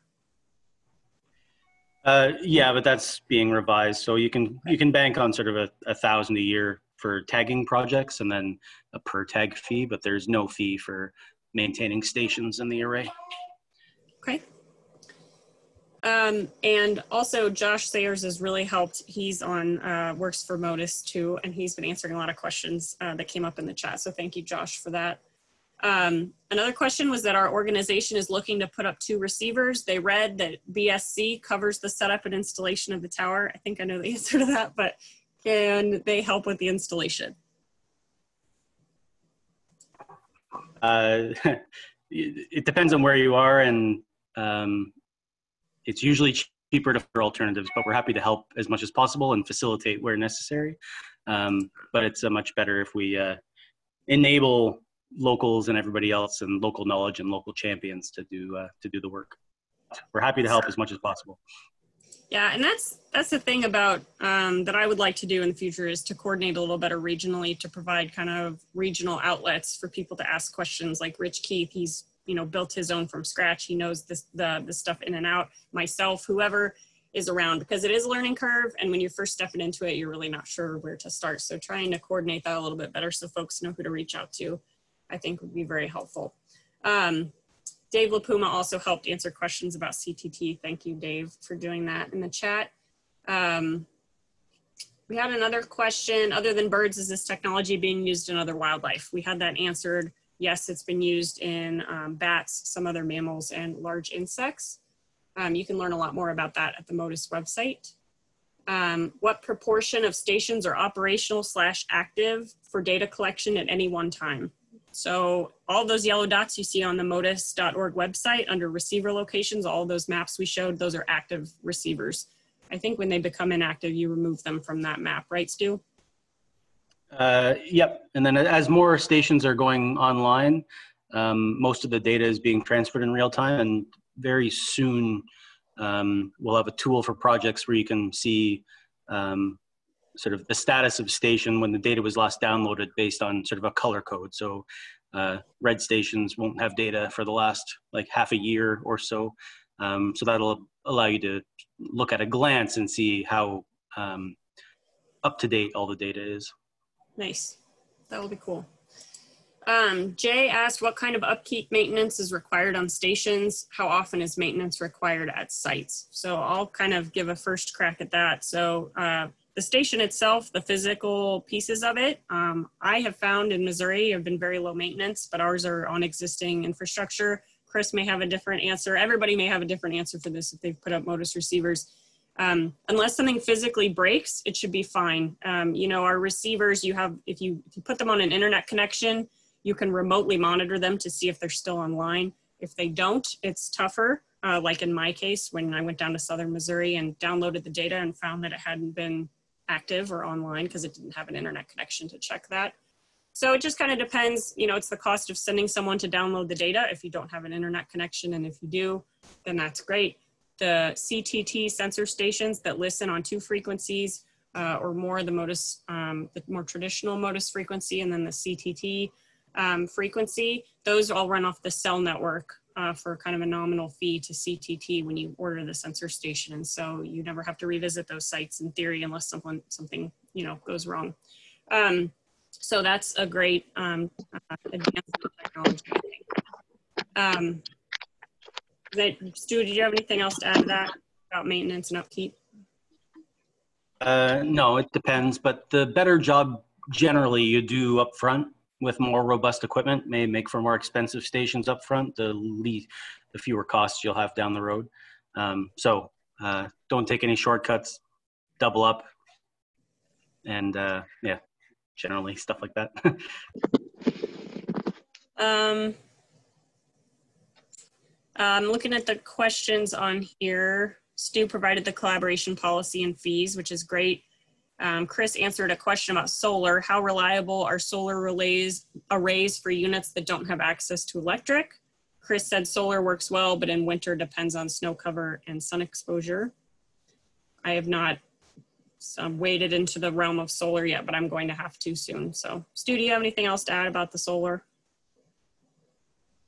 Uh, just what I made in the comment there, and there's some material okay. on the website. Um, it's, and I'll just address the winter issue now. Typically, the angle of the panel will keep the snow clear, or just the sun will melt it off. Um, if you do want to do a project in the winter, you kind of have to integrate more frequent checks or doubling up the batteries um, just to ensure. Um, you, there's a number of issues in the winter at high latitude. You also have low sun angle and a lot of cloudy days. Um, so in winter, generally less reliable uh, and big batteries. Okay, thank you. And thanks, Chris and TJ, for hoping to answer that one. Um, those are all the questions I see in the chat. Um, I think we should start our lightning round where people chime in. Um, if you want to chime in, I know that like 30 to 40 Um, 50% of people said that they had active Motus projects or were hoping to do them in the next few years. If you could just say, write your name in the chat, uh, we can call on you um, and we can kind of go through that way. I think Jennifer um, with Western Great Lakes Bird and Bat Observatory was going to go first for us. Uh, maybe Nick Bayly can chime in after that. Before this, Xavier has a question um, and he says, will a tower pick up all tags as long as the frequency matches? Stu, do you wanna? Uh, as long as they're registered with Motus, um, yeah, that's the key. yeah. Yeah, so I hope that answers your question. Um, uh, Jennifer, do you want to go ahead and kick us off with the lightning round? Sure. Uh, so here in Wisconsin, I just want to give a quick update. We have four towers that are active right now in the kind of southern half of Wisconsin, and two more should be active this year.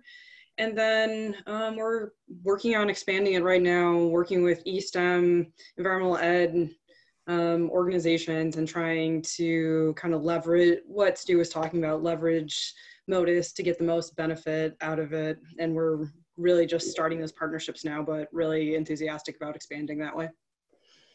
Nice. Thank you for sharing.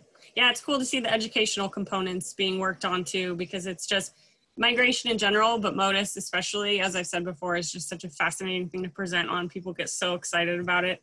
They, I love, everybody loves the collaborative nature of it. I think it really resonates with a lot of people. So thank you. Um, Nick, are you there? Do you want to give an update on what Selva is doing? Maybe he's not there. That's okay. I'll go to uh, I'll go to Ariel. Do you want to go ahead? I know you typed it out, but um, yeah. So um, hi everybody. I'm Ariel Fernier. I'm at Forbes Biological Station with the Illinois Natural History Survey, and we put up four towers a couple weeks ago. The receivers aren't actually there yet, but the physical towers and the antennas are up. Um, along the Illinois River in central Illinois, we're looking at duck and uh, marshbird movements, and we're hoping that if this goes well over the next year, we'll be deploying more towers across Illinois, and we'll make sure to plug in with the network to see how we can fit into that framework you put out, Sarah. So, nice. Thank you for sharing. Yep. And Ariel just joined our steering committee to the Midwest Migration Network, so welcome. um, thank you. Um, Mike uh, Wells, do you want to go ahead and speak to the group?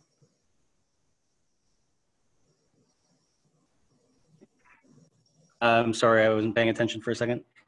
Um, oh no. Um, oh, go ahead. there's the the receiver question is a little bit of a um, a little bit of a wormhole.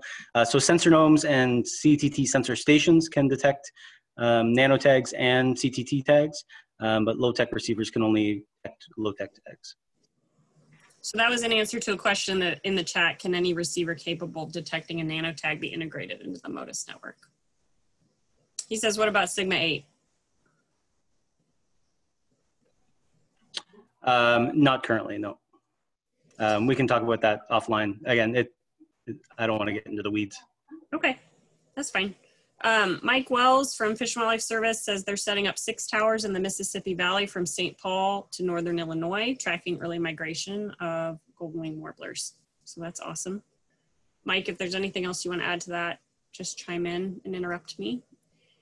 Um, Mo Coral, Mo, do you want to go ahead from Bird Conservancy of the Rockies? Yeah, hi. Um, I'm Mo Carell. I'm new to this group, but um, and I'm actually here for Matt Webb, who's our Motus coordinator at Bird Conservancy. Oh. He couldn't come today, but um, I just wanted to let everybody know about a fairly new um, collaborative partnership with Fish and Wildlife um, to start setting up uh, towers or excuse me stations. I'm brand new to Motus so i don't have all the vocab down. But um, basically we've received funding from several sources to put up um, stations across the great plains and chihuahuan desert um, specifically to take a look at large scale movements of grassland birds but also help um, answer some smaller scale questions that we have as well. So that funding is coming from an NMBCA grant, um, as well as science applications at Fish and Wildlife and NIFWF and a couple other smaller sources. But um, we're starting a series of webinars to kind of identify the most important research questions for grassland birds and others in the Great Plains and Chihuahuan Desert. Um, and we're hoping to set up more stations within the next year or so. I think we've got running for like 30 or so right now. But um, if anyone's interested in participating in those webinars and being part of this um, newer collaborative group, please let me know. I'll put my contact info in the chat box and uh, we can go from there. Thanks. Perfect. That's such a great update. Oh, asking for partners, love it. Thank you, Mo. I appreciate it. Um, Nick, Nick was muted before. Nick, do you want to update folks on what Selva is up to with Motus? Sure. Uh, not too much to report, but um, we're still maintaining an array of towers down in Colombia and helping out with towers that are set up in Panama and Costa Rica. There are plans afoot to increase that array, so obviously it doesn't directly apply to the Midwest, but anybody hoping for detection south of the US, um, we're looking to greatly increase the coverage of, of towers in, in the coming years. Um, and this spring, we sent a lot of birds north, hearing all these people saying their towers were down, they couldn't get to them. Yeah. feel like we probably missed out on an awful lot of detections. Not that that was our primary question, but it would have been nice to Mm-hmm. to have a couple more of those fantastic grey cheek thrush-like examples of, of birds streaking north from, from Colombia. Um, and in terms of you know what we're working on with tagging species next year, there aren't actually any immediate plans. Um, I think like everyone, we're just feeling our way, seeing what's going to happen, whether we can actually get into the field or not. Um, so nothing directly in the pipeline, but hopefully there will, there will be some some plans afoot for next spring. And the spring after, if we get that. And the spring after. Fingers crossed. I like that picture. Okay, thank you, Nick. I appreciate that. Um, appreciate that update. Um, okay, moving on to other questions. How close do towers need to be to accurately infer local movements? So anybody can chime in really here, or Stu, if um, who you've done localized monitoring, uh, maybe Annie. Uh, how far apart do you put your receivers? The classic Motus answer is it depends. um, so it depends on what antennas you're having and if you're doing manual tracking and what species. Um, so any tower can typically detect animals on the ground to uh, you know one or two kilometers if you're lucky. Um, when they're in the well, it depends on the landscape, but in a semi-forested area, and then the detection range increases dramatically when they're in flight. Um, so it depends, um, but I'd, I'd, say a, a, couple kilometers if you want that kind of scale. If you want like tens or hundreds of meters, um, there's other options that you can use by a dense array or CTT nodes um, are, uh, are new on the horizon that can give you a, a much more dense grid uh, of, uh, of stations and locations. Great. Thank you. And since we keep talking about CTT, Dave, are you still there? Do you want to talk for a minute about CTT and the nodes, kind of explain what those do locally and um, if you're there? Sure. Yeah, I'm here. Thanks, sir. Can you hear me? Yep. Okay, great. Yeah, so so the CTT sensor stations are kind of the stations we've been talking about, basically Motus stations that can detect uh, both 434 megahertz tags, which are the tags that we're making, our life tags and power tags, as well as some GPS receivers, um, and then the 166 tags or any other uh, VHF frequency using a FunCube dongle or any other software-defined radio like an RTL SDR. The nodes, as Sarah mentioned, are kind of mini base stations that can be added to a uh, an, to an area where you have a sensor station, and they can be set up in any way you want. But one of the kind of most straightforward ways to visualize is setting up in a grid, and you set these up in a grid at some distance, so 100 meters, 200 meters apart, and then any birds that are any birds or any other animals that are tagged that end up in the gridded area then are getting picked up simultaneously at multiple nodes. And that simultaneous detection data can then be post-processed into localizations. So, you know, the holy grail with all these small animals is GPS. And so what we're really trying to do is kind of a quasi-reverse GPS. But thinking about um, grids of nodes within the Motus kind of uh, network is really kind of the next level of, of getting information. So we've seen these wonderful animations of kind of point to point straight distances. But imagine if, you know, I run a bird observatory here in Cape May for five years and we have this banding station here, and, you know, to think that a bird could come from somewhere else and then end up on our grid and spend several days in stopover and we actually can pinpoint what habitats that bird was using and how long it used it and then it leaves that that that magnitude of data that you kind of accrue via the radio and and um, that level of detail depth that you can get really kind of enhances the Motus network.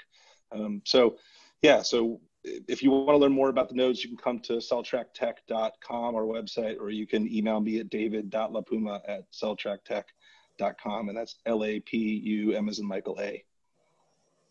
Thank you. Thanks for the opportunity. Yeah, thank you, Sarah. Yeah, thanks for that.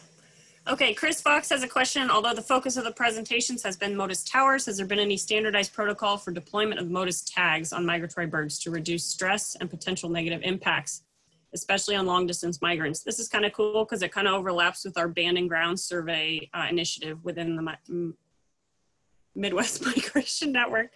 Um, Stu, do you want to talk about that?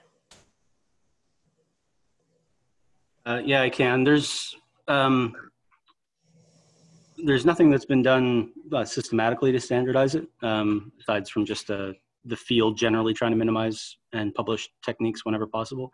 Um, and generally, mistakes and uh, reporting rates are underreported in publications. Mm-hmm. Um, but that's one thing to, to go with. There is a um, working document on the website called Tagging Things, and we've turned that into uh, standard operating procedures, which um, will probably be ready to release soon, which talk about um, the different harness techniques. Um, and so that just raised it up. Maybe by the end of summer, we'll have that available. Um, but I'll put a link in the chat to the current draft, which is very drafty. I'll just give it that caveat. Um, others, there's a wealth of experience in tagging on this chat now, so others may have um, something else to say. Okay, great. And yeah, Dave and Stu, or other folks who have spoken, if you could leave your emails in the chat, that would be great if, if people want to reach out to you. Uh, I know Mo, you said you were going to do that. Okay, so Christina Davy says, or Davy, I'm sorry, with Trent University and Ontario uh, MNRF, we're using Motus for bat tracking and trying to boost number of towers in empty parts of Ontario. I don't want to hear it, Ontario. There are no empty parts. I'm just kidding. Um, but Christina, do you want to speak to that at all?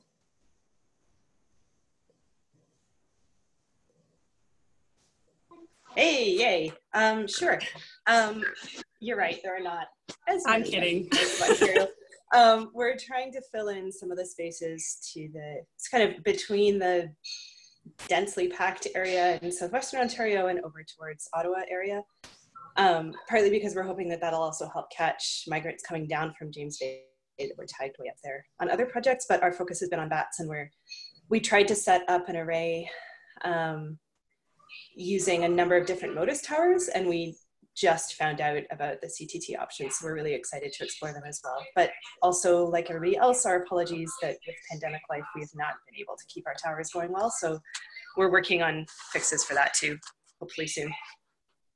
Nice. Thank you very much. Go back up here. There's a lot of people doing a lot of Motus stuff. This is awesome.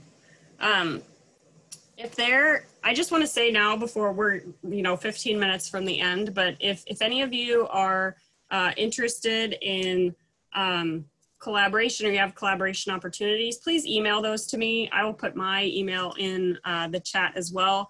Um, and we can kind of use that as a springboard. Um, if you want to be involved in future like email correspondence and things like that, um, also join the Midwest Migration Network online. That'll help us keep in better touch with each other. And if you didn't have an opportunity to talk today, then I'm happy to, um, um, to connect with you there. Okay. So Mike Wells, he was able to unable to unmute. I'm sorry. He said he's supposed to set up this year for the golden wing warbler tracking on spring migration, but coronavirus has delayed uh, them like many of us. Uh, hoping to get towers up this fall. That's great.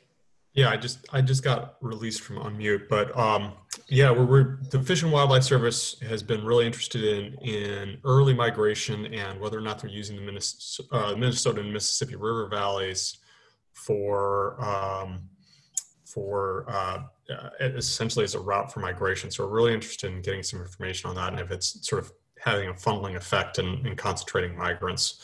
So we have six towers that we're we're supposed to set up, um, and we have uh, I think 20 or so tags we're going to be putting on golden warblers. Supposedly, right now, sadly, uh, we're not probably going to get those up till the fall, the, the earliest. So I have a pile of boxes in my cubicle right now that I'm being yelled at for occasionally. So I hear you. I have a variety of Motus boxes sitting around my office. Yes, it takes up some space. Thank you, Michael. And Michael is a great uh, example. Um, Michael was interested in this, and he, you know, contacted uh, Amber and the Midwest Migration Network, and he got on one of our calls and was able to talk about his project. And we figured out ways to connect um, with the project because it was a Motus uh, tagging project. So that was great, and I encourage others to do so if you have these large-scale projects or want to coordinate uh, tags across the region. Okay, who else? Xavier Tucson with the Land Between organization will be setting up two towers receivers in Ontario between the Georgian Bay and Ottawa Valley bioregions to track common nighthawks and whippoorwills and other grass and birds, uh, loggerhead shrikes and grasshopper sparrows. That's awesome. Um, I'm gonna start just reading some of these since there's a lot. If you all have extra things, just cut me off. Uh, Mo said Northern Mexico and Southwestern US. We have existing collaborative partnerships with UANL and UJED in Durango, Nuevo Leon, and Chihuahua. Um, Emily says, happy to talk offline. Does anyone have experience using CTT nodes in conjunction with Motus towers to track local movements? She listed her contact and Dave Lapuma, I think would be a good contact for that, or Stu. Um, Vera Leopold all right, she asked if Ariel could share her email, and she did. Sorry, I'm just going along here.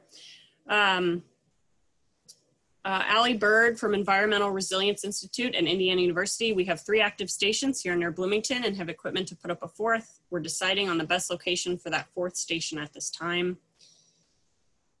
David, is there a current data processing system to get localizations or is that not developed and open access yet? Dave, are you still there? You want to chime in on that? Maybe he is away or muted. Um, Sorry, can you say what the, the name was again? I'm unmuting people. Uh, localizations in general is a um, a big a big ish issue or problem. Yeah. Um, and uh, it, with the nodes, it's a little bit more straightforward. Um, in other um, using the, the, other telemetry. Uh, Mike Ward and others have done a lot of work um, using triangulation, but it's not a simple, straightforward thing. Thanks for unmuting me, Sarah. So, um, yeah, the, the I, I, did reply in the in the chat, so okay. anyone who wants to look can see it. But basically, we we have a statistician on staff here who's worked up what he refers to as the zeroth order um, uh, analysis, which um, is in constant state of of improvement. So we have that that we can provide today. If um, if anybody's working, we actually do provide it to anyone who's working with nodes currently, but um, definitely up for this becoming more of a kind of collaborative effort. If there are folks that want to work on localization with node data, um, there are other researchers. There are folks at Archbold Biological Station in Florida. Young Hasu's grad student at Cornell. She's working on a big node array up there and working with Bob, our, our statistician here, to come up with techniques that use uh, more information. There's a whole machine learning uh, approach that's being taken in, in, some work in Staten Island right now at Columbia University. So there's definitely room for growth here, uh, but we do have a basic method that we've developed that, um, under the right circumstances, can provide very good, uh, accurate localization. So the answer is yes, uh, but we want. I'm hoping that there are folks on this call today that are really interested in pushing that forward. And, uh, and you can reach out to me. My uh, email is in the comments in the chat. Cool. Thank you, Dave. Thank you. Rob asks, is there any, Rob Deal asks, is there any effort to enable Motus to function more broadly with data logging tags? Or example, able to receive telemetry on temperature, pressure, altitude, or particular relevance to exposure to wind energy, etc. I'll hand that to Stu. Uh, yeah, at the current time, no, and it's um, for the most part, it's up to the, the tech providers, uh, Lotek and CTT, as to whether um, they can make those compatible. And I know a lot of the tags can do uh, pressure, altitude, or that now. Um, transmitting that data through um, the receivers um, is another uh, is another issue because it's easier to do it with some receivers than others. You can't necessarily do it across um, across the board. Um, but it's probably best to start talking with the tech providers if you have immediate interest in that. And it's definitely something Motus as a whole is paying attention to and um, would like to uh, integrate. Okay, David has his hand up. Stephanie has to unmute folks. Thank you, Stephanie, for doing that. Let me Thank see. you, Stephanie. I just remembered the raised hand thing. Thank you. um, yeah, so Stu makes a, a, the perfect point. So we are currently making, we have transmitters now that go on larger animals. It's our ES200. It's a GPS logger that sends data over that 434 megahertz frequency. So um, we have owls in Tasmania right now that are sending data to Motus stations. Uh, we are, it is not going to Motus, it's not getting imported to Motus, but as I mentioned in the chat, you know, data is data. So, so we've got, you know, we're building tiny transmitters uh, soon with altimeters, eventually with GPSs at the at the kind of the the small bird size transmitter, and all of that can go through our stations. So if it can go through our stations, as long as we build the connection to Motus, it can go to Motus. So like I said in my comment, I don't want to put the cart before the horse because that last part of making that connection is always a challenge and it takes a lot of uh, resources. But I'm sure working with Birds Canada and Steward folks, we can we can find a way to do that. Cool. Thank you, Dave. Okay, I think one last comment is from Andrew Rothman. Hi, Andrew. Um, he mentioned, I did mention the tower in Nicaragua, which is great. Um, we helped put up a tower at El Jaguar uh, Reserve down there.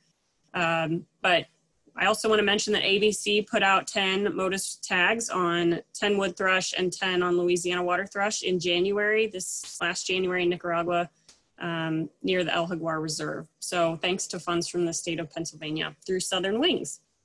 Um, so uh, Southern Wings has been a great outlet for a lot of states to give money to habitat work and also uh, research down on uh, stopover sites in the wintering grounds. And we, we used our Heritage Foundation funds and Southern Wings funds to help support a lot of good projects ABC is doing uh, on those stopover sites in the wintering grounds and also Selva with Nick Bayly um, working with projects down there. So um, if you're from a state agency, I really encourage you to look into Southern Wings if you don't already know about it and try to contribute to that. Okay. I don't think, um, I don't think that we have a whole lot more. I don't know that we have a lot of time for discussion and new ideas. If anybody has a burning topic that they're thinking of planning uh, a Motus project in the next few years that they would like to uh, coordinate regionally, please, you can chime in now and interrupt me. It's hard though, I think you can unmute yourself, but please put in the, um, in the chat box, if you have those ideas, email me at sarah.kendrick at mdc.mo.gov. Um, Stu says, don't be shy. Uh, Stu has always been probably the most approachable person uh, in charge of one of these huge, huge groups. Uh, so has Dave, just been really responsive. And so do not hesitate to reach out to those folks. Uh, the one thing that I love so much about Motus and working internationally with bird conservation groups is we all have this feeling of we're all in this together. We want to learn about um, these shared birds that we share between countries and, and across our state lines. And so I really encourage you guys to reach out to others if you have ideas for tagging or putting up receivers. Uh, everybody's here to help, especially with Motus. Um, I have one more reminder. Um, thanks for joining everyone. Um, Stephanie posted this. Thank you to Stephanie for helping to drive us in the background. I really appreciate your help. Um, so yeah, just echoing what she said. Thanks so much for attending today, for taking the time. Um, we have uh, two more sessions tomorrow. Uh, the AM one begins at 10.30 Eastern, 9.30 Central. It'll focus on radar and acoustics. You can use the same Zoom, Zoom link to join. Uh, and then we'll have a closing session where we kind of wrap up all of these different initiative uh, discussions. So please chime into that. And we have a keynote speaker, Fabiola Rodriguez. Um, and we'll have a panel discussion with, with me. Oh boy. So thank you guys, everyone, for chiming in with your efforts. Um, um, and letting us know what you're doing. And we hope to be in touch uh, in the future. Please don't be shy. Thanks.